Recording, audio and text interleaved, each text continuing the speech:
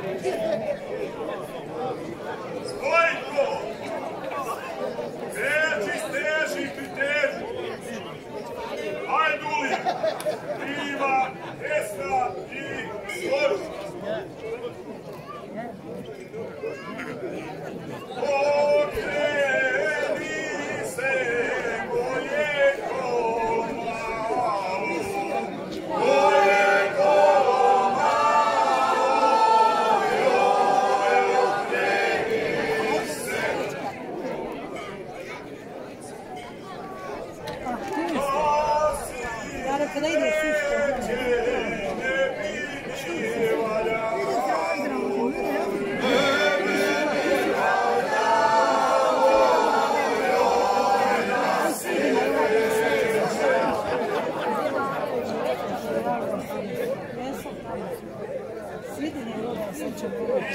Ima